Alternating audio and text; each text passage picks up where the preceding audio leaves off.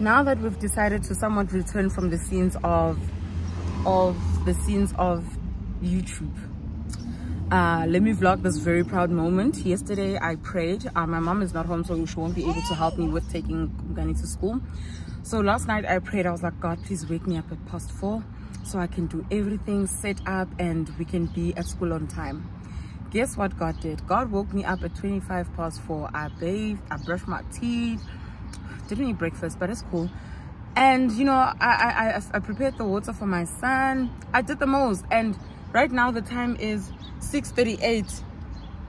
it's 6:38. ish. Ish it's 6:38. we withdrew money. My son who is aligned with god good time so what did my son do? He said he wants to put over from school. Usually he doesn't but today he did. Ain't that god ain't that god you're the reason I'm feeling fresh every season. Stand up St. Easy, you're on my mind, you can see it. And it happens on payday, but yo, I won't lie. When I uh, withdrew the money, I was scared. I thought money wouldn't come out.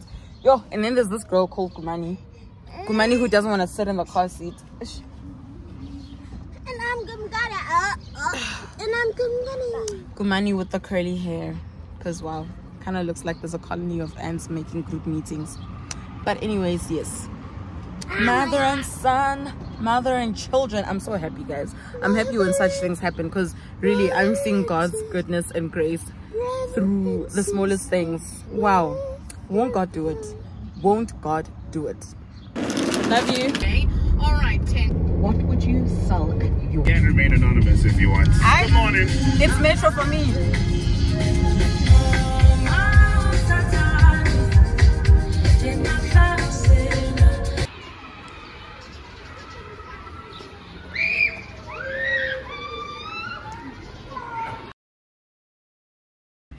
hey guys. So this is the end of today. It's the end of thursday. Tuesday, tuesday. it's the end of tuesday. My glasses are askew because kumani because kumani um she always wanted to yeah be busy with my me flip this one. Okay but anyways there we go. Um yeah i'm just so happy about today God has really been faithful. Um, the fact that I was on time for work and I woke up early, I didn't run out of energy. God really showed himself to me once again. He really showed himself to me.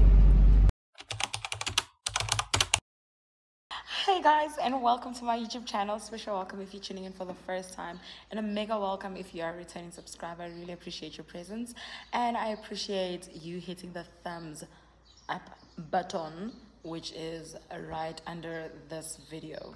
So today i figured that i would start with uh, get to know me because i've really been away for a long time. Even my subscriber count started going down and i'm like oh my gosh. Um, so yeah i decided to do a get to know me tag since the last one i did is actually let me take these i don't know if they're showing properly. Now you're seeing my bare eyes Okay, so since the last video, a get to know me video was the one I did back in 2021, you can imagine. Um, yeah, and I figured let us let us do another one because I've been away for a long time. So the first question, we're just gonna get right into it. Uh, the first question is, what is your full name? I'm reading the questions from my laptop, so I'll keep looking up. So it's, what is your full name? My names are Busisiwe Jane Mahlangu, and um, Busisiwe, obviously, hence Busi Jane.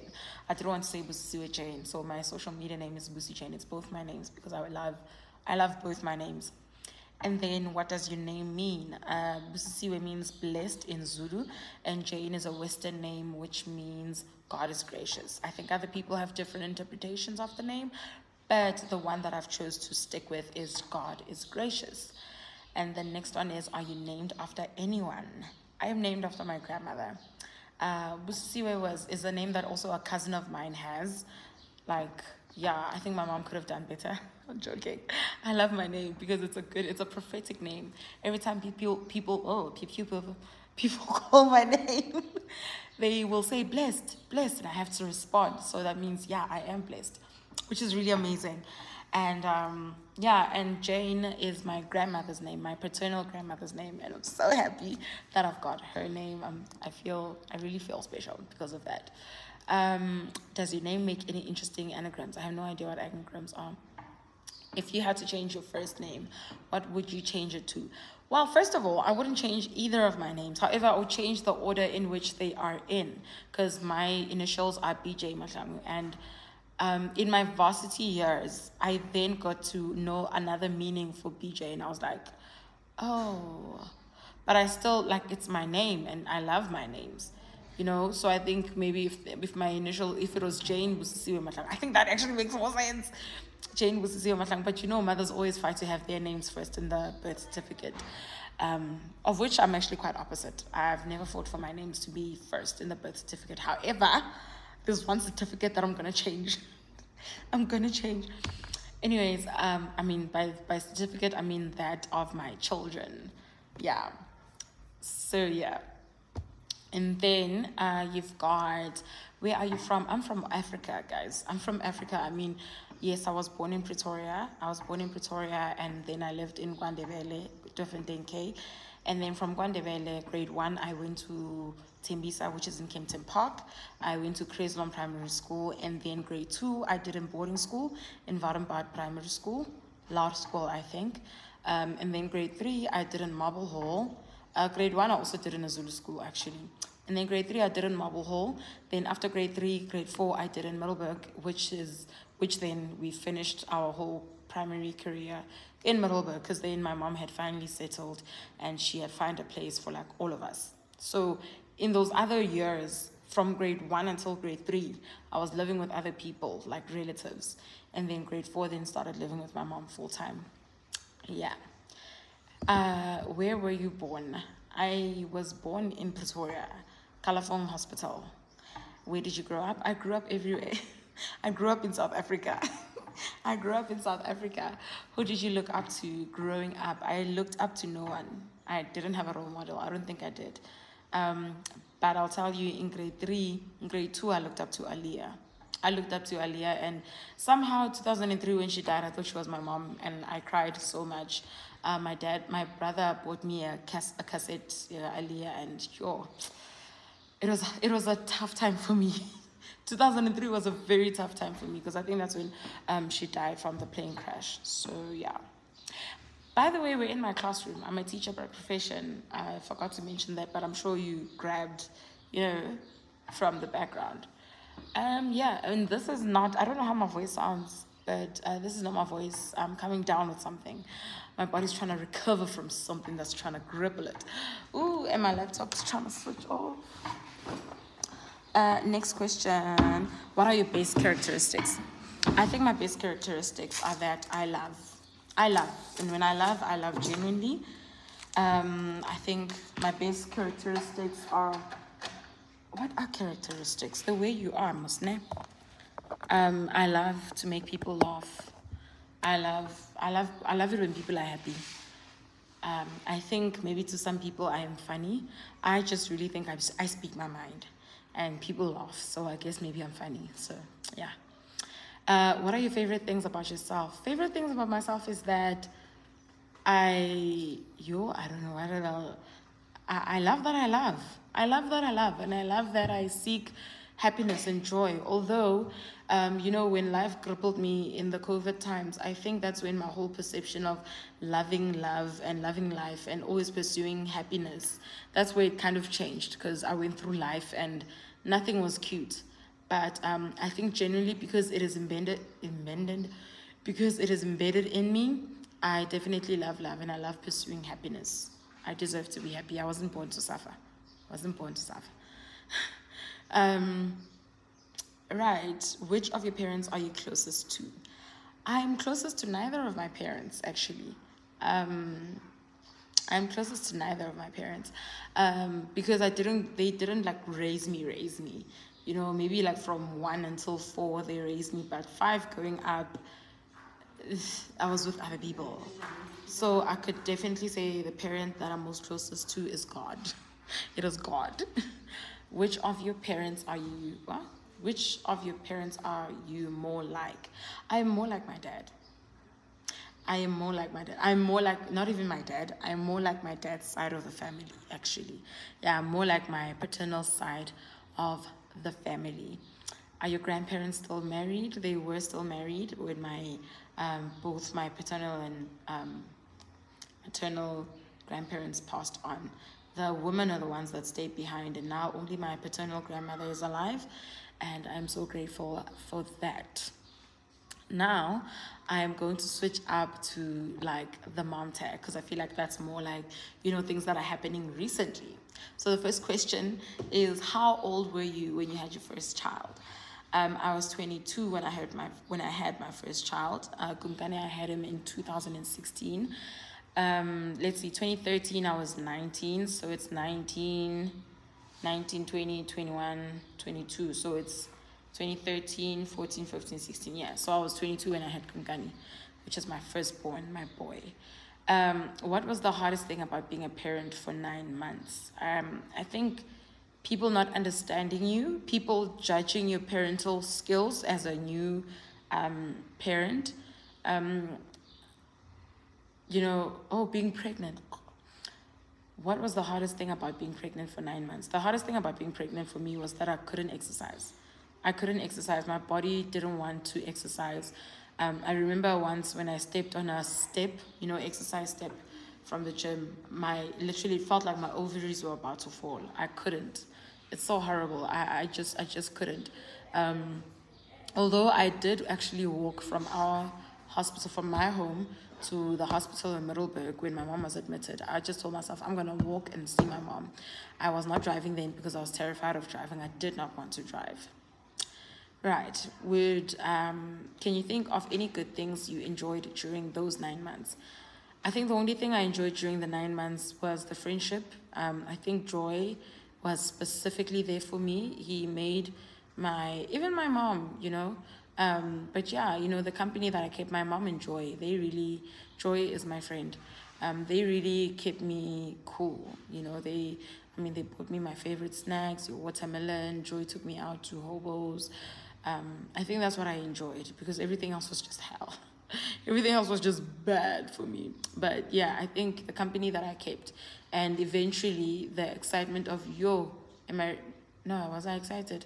I wasn't. I think I was still shocked, and I think it's with every new mom. But yeah, in your opinion, were all the things you heard about childbirth accurate or way off? They were definitely accurate. I did my research. I made sure I did my research. I made sure that I knew what uh, natural birth was because I only wanted a natural birth. However, I did not research on cesarean section. Yeah. And that was because, I mean, it has Western medicine. I didn't want anything Western in my body. But however, that is the turn in which we took, that's the direction things took in terms of the birth. Um, I was induced, but Kumkani still struggled to come out. And so then they, I had to go for an emergency C section. It was horrible. Mm, would you have handled childbirth differently if you could redo it? Certainly. I mean, there was nothing I could do. So I think that I would answer this in terms of I would have really loved to have a natural birth. I don't know what that would have done to my body. I don't know. But I think it would have been great to actually experience a full term natural birth because that, that was my desire. Right. What would be your advice for someone who is about to have a baby? Whether the circumstances are good or not, this is happening in your body. You need to make it joy. You need to make it joyous for yourself because no one else is going to experience the joy for you. You need to make sure that you experience the joy for yourself and so that you don't look back and regret how miserable you are because there are miserable times. Trust me, there are miserable times, but you need to combat that with this is happening in my body and god is trusting me with something so great and i want to enjoy this. So you need i need i want you to have the desire the need to want to enjoy what's happening in your body. It doesn't matter who's there and who's not there but you are there for the person who's in your tummy and they are going to be there for you someday. So yeah. That is what i was saying that is what i was saying what would be your advice? Okay, that I just read there. what is being the hardest thing about being a mom? What has been the hardest thing about being a mom? I think just doing things on your own, you know? Um, it's either people assuming that you've got this or like you know knowing that you don't have a choice like you just need to start moving like you know um, that you're not going to be nursed you're not going to you know the father's not there and all that kind of stuff so really people who are married and their partners are then supportive. You are blessed beyond measure. Um yo like i wish i had um a stable partner stable in the head and all of that. Um yeah but i mean everything happens the way it does because of our choices and i guess because of how jay we are on earth and earth, Satan is always roaming around seeking someone he may devour, and people become devoured and then they start acting nonsensical. But yeah, that's my opinion. Um, what was the most surprising thing you discovered about being a mom? I think, you know, extending grace. I just found out how I can always start over. Being a mom, you start over literally every day. There's no holding things back and grudges. You start over when you're a mom, literally every day. Right. Um, what is the best memory you have involving your child? I think the times Kumkani and I went out together, um, when we lived together, you know, it was just us against the world. And things were so perfect. I don't want to lie. Things were so perfect. I love my boy. Um, what habit did you wish your child didn't have? You're lying okay, maybe let me not say lying, but I lying. Kumkani can get so creative. Like he'll be like, can I tell you something? And I'm like, yeah. It's like, yesterday I saw this, and, he creates these things in his mind, and I don't know psychologically where that comes from, but I think it's his desire, like they come from lack, maybe, in his life. You know, I think maybe those things come from lack in his life, and so he wants to create the life he wants, and he wants to visualize things that he wants or wishes could have happened. So, yeah. Uh, do you share any similarities with your child, both physical and personality? Uh, personality, apparently, um, whenever we visit my family, paternal family, they always tell me, hey, you know, look, you used to do this, you used to do this. And that has actually helped me gain more patience for Kumkani because I'm like, yo, my guy, you, I mean, I was you, and they had to be patient with me. So now I have to be patient with you. So yeah, uh, physically, uh, he actually has like my dad's body structure. Like he's, you know, the things he does when he walks like this. It's so funny. It's all maternal, guys. It's all paternal, actually. It's hilarious. Where would you like your child to be in 10 years? In 10, in 10 years, Kumkani is going to be 18. He's going to be done with school in 10 years. And where I would like him to be in 10 years is where God wants him to be and that's in a place where he will bring glory to God's name. And in 10 years, my baby girl is going to be in grade five, and I would like her to get all these certificates at school and really do well. Oh my gosh, I love my baby girl. I love my baby girl. I love my baby girl, you guys. Describe your child in a single sentence. Kumkani, intellectual. Kumani, vibrant. Those are the two words I can use vibrant and intellectual. So I think I think we're gonna park it there. I think we're gonna park it there. Um, this is yeah, I'm definitely gonna park it there. Thank you so much. We've come to the end of the video. I hope that you've enjoyed it and you'll consider subscribing and give me a thumbs up. You know, uh, if you like the video. Thank you so so much, and I'll see you in the next video. Peace.